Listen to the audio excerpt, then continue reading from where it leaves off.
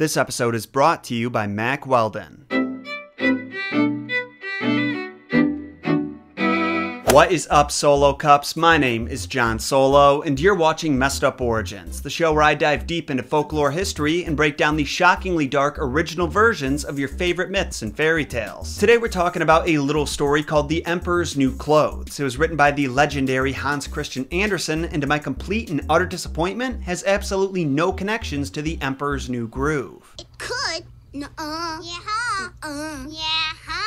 Okay, but it really doesn't, nor to Kronk's New Groove, nor to the Emperor's New School. That being said, it's a fantastic story with a timeless moral that is applicable to many aspects of our society today, and I believe will resonate with every single person watching this. However, before we break down this story about an emperor getting some new clothes, I want to tell you about some sick fits I recently picked up from today's sponsor, Mack Weldon. So we're about to dive into a story where a wise and powerful emperor gets himself some new threads, and while looking into that story, I was motivated to do the same thing thing. But I didn't want to turn out like the Emperor and find myself fooled by some smooth talking salesman. I wanted some high quality, durable fits that I was going to look good in. That's when I found Mack Weldon, a lifestyle brand that's reinventing men's basics from the ground up with premium fabrics and smart design. And while I may have pulled that quote directly from their website, I am not exaggerating when I say that these are my favorite clothes to wear now. For starters, everything I bought from Mack Weldon, from the sweatpants to the t-shirts to the Henleys, all fit exactly how I like. Tight enough to flex my physique, but still loose enough that I don't feel constricted. Then there's the premium quality that you can feel just by holding some of their products. They have a wide range of custom fabrics that can keep up with you no matter what you're doing that day, and on top of that, they're incredibly versatile. You can go to work, run some errands, go on a date, and work out all in the same outfit, and no one's gonna think that you're under or overdressed. Out of everything I bought though, my favorite has gotta be the silver crewneck t-shirt that I'm wearing in the rest of today's video. The material's strong enough that it holds its shape no matter how much I wear it, but is simultaneously incredibly incredibly lightweight, so I'm not sweating under the studio lights. Let me just put it this way, if you've ever wanted to wear something designed by Edna Mode, Mack Weldon is as close as it gets. And what's really cool is they have a completely free loyalty program called Weldon Blue that rewards you just for shopping with them. Level 1 gets you free shipping for life, and once you reach level 2 by spending $200, you get 20% off every order for the next year, plus a ton of other cool perks. If you want to give them a shot, just go to mackweldon.com slash solo and use code SOLO at checkout to get 20% off your first first order. Also prepare yourself because if you're anything like me, once that first order comes in, you're gonna wanna put in a second one. And with that out of the way, it's time for us to jump into it. As always, make sure you hit that like button if you want to support the show, and of course subscribe and ring that bell to be notified whenever I upload. I mean, you might get the notification five days late like I do with some of the creators I follow, nice job YouTube, but remember, if you don't see me post anything for a week, just check the channel on Fridays and chances are you're gonna find something new here. Sucks that we're at this point where one of the two most important features of YouTube barely works, but here we are.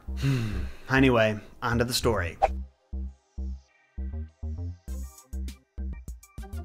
So Andersen opens The Emperor's New Clothes by introducing us to the Emperor himself. He doesn't have a name, nor does his kingdom, but as tempting as it is to call him Kuzco, I'm gonna fight the urge to avoid confusion. Instead, we're gonna call him Tony, and his kingdom Tonytopia. Now I'm sad to say that Tony is not a very good leader. He pays no mind to strengthening his military or his relationship with his citizens. Literally all this dude cares about is wearing the most elegant and expensive attire possible, and the only reason he'd ever make public appearances was to show it off. Then one day, two swindlers who knew about the Emperor's unhealthy obsession came into town with the intention of taking advantage. They approach His Majesty and claim that they could weave a cloth so fine that it'd be invisible to anyone who was unfit for their job or hopelessly stupid. Plot twist though, the oh so talented weavers are trying to pull one over on your boy who just gobbles up every bit of their BS. Without asking for references or even a single example of something they'd woven before, he just gives them a big stack of money along with the most delicate silk and finest gold thread the kingdom has to offer so they can get to work right away. Little does he know, they're not even using the materials he's giving them. Instead, they just shove it all into their bags before going back to work on nothing at all. A few days go by and Emperor Tony is getting curious about how much progress the Weavers have made, but he's a little too nervous to check on them himself. After all, if he goes to visit them and it turns out he can't see the cloth, it either means he's unfit to rule or hopelessly stupid. The funny thing is, we the audience already know both to be true. Instead of going himself, Tony sends his trusted prime minister because he's always shown himself to be an intelligent man who's good at his job. But lo and behold, when the PM goes to the Weaver's workshop,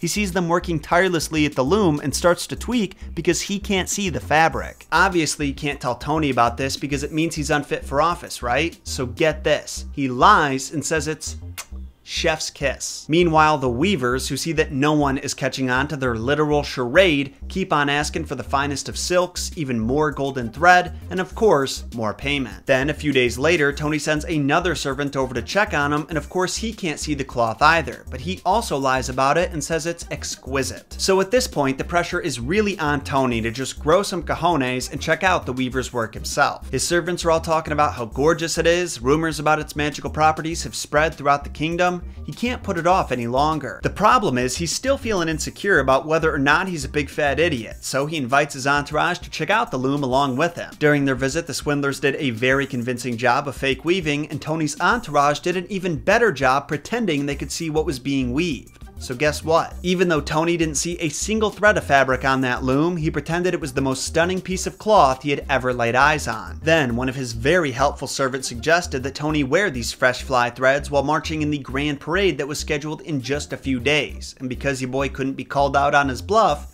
he agreed. So when the day finally comes and it's time for your highness to get dressed, the weavers put on this big show of delicately cutting the fabric and delicately sewing pieces together. Then they slowly raised up his trousers and slowly pulled the shirt over his head. But even after he put on the coat and all, the emperor didn't feel like he was wearing anything. He felt totally naked, but the weaver said that was because the fabric was as light as spider webs. Man, people got away with so much more before you could just Google shit. Is there really fabric that's lighter than spider webs? Interesting cut off their heads. Sadly, the Emperor couldn't Google anything. He couldn't even ask Jeeves for some insight. So, he had the servants attach a train to his jacket and marched right out the palace gates in front of a crowd of his cheering citizens. And what's really funny about this is no one reacted to him being naked. Since they all knew that not being able to see his outfit meant they were stupid, they all pretended to fawn over the masterful handiwork of the artisans, saying things like, those are the sickest fits he's ever worn, and check out the drip on this guy. But in the midst of all their cheering, a tiny child's voice cries out, but the Emperor isn't wearing anything, and in that instant, the illusion is shattered. There's something about the innocence of the child and his lack of something to lose that tears down the public self-imposed blinders, and they realize, wait, it's not just me. The Emperor really isn't wearing any clothes. Of course, the Emperor realized that at the exact same time everyone else did, but he couldn't let himself be psyched out. He stood up even straighter than before, vertically, not horizontally, and finished the parade with his head held high. This one, I mean. As for the swindlers, they skipped town during the parade and were never heard from again. And that is what I love about fairy tales. Sometimes the bad guys get to win.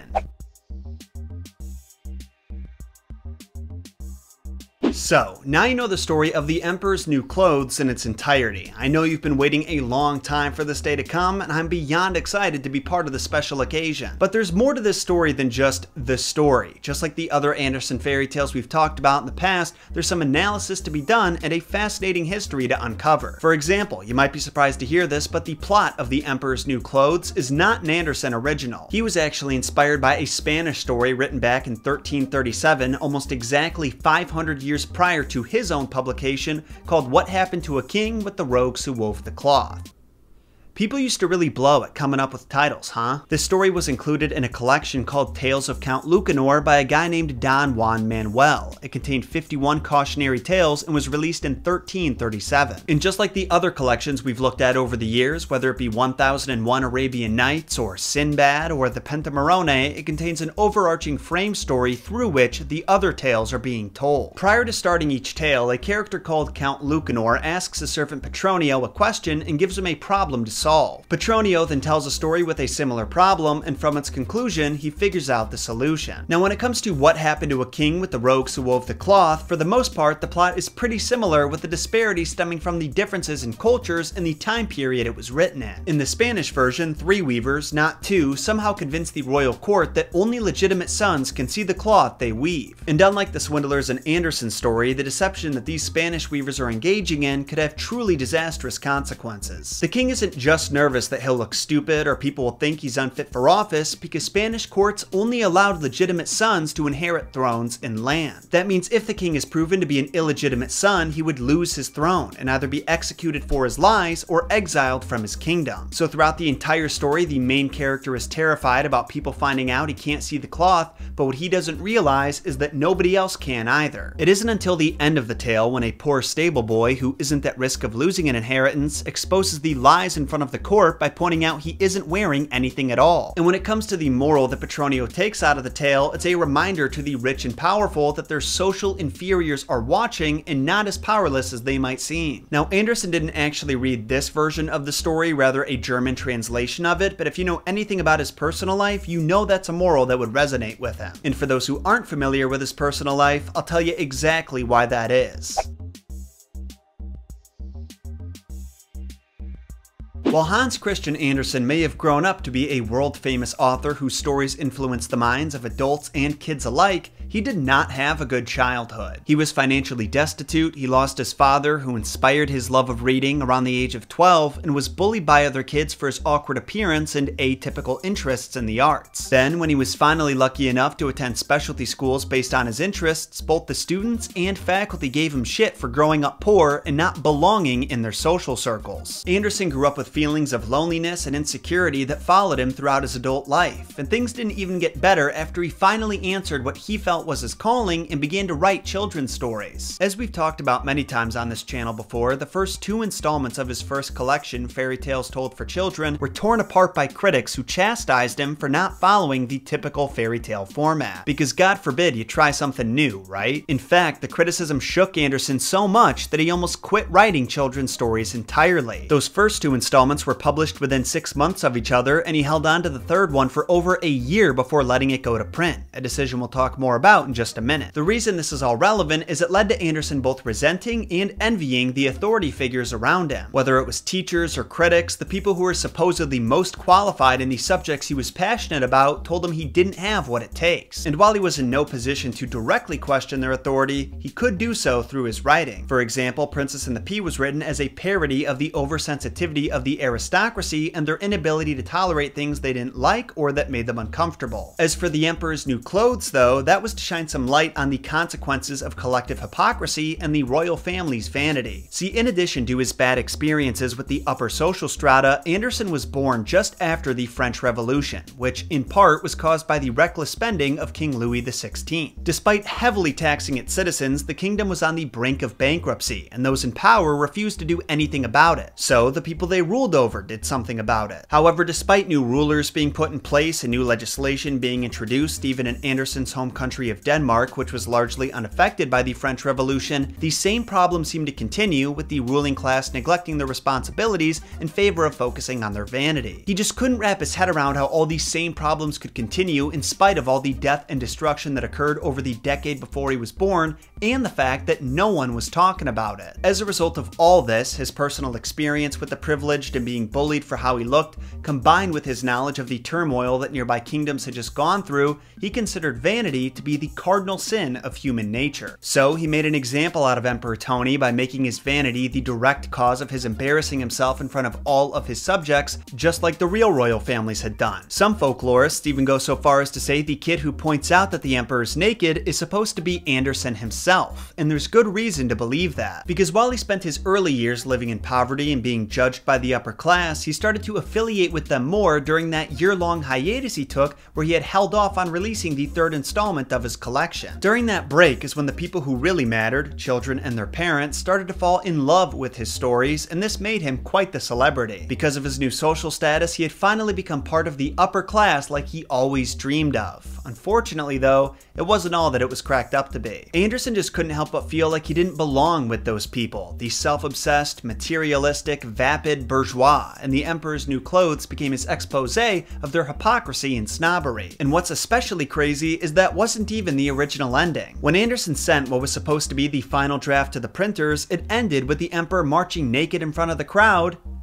and that's it. No one calling him out, no veil being lifted. But for reasons we can only theorize about, he was motivated to change the ending to the one we know today. Which is crazy when you really think about it because if the Emperor didn't get called out and embarrassed in front of everybody, the story would be so much less impactful. But since he did, that kid's one line takes on so much meaning, and as a result has gone on to become an idiom that people use to this day when shaming people who choose to ignore what's in plain sight and blindly act as if there's nothing wrong. For example, folks who refuse to wear masks when going out in public. From my personal experience, they tend to act like if they just believe the virus isn't real, they're not gonna get it. But if that example's a little too sensitive for some of you, here's another. People who engage in call out and cancel culture every time a celebrity does something they don't approve of. Just like how the Emperor's servants wanted to prove they weren't stupid, there's people on Twitter wanting to prove how good they are by sending the most toxic messages they can to anyone who takes a social misstep. The only difference in that situation is that anyone who takes on the role of the child and calls out their shenanigans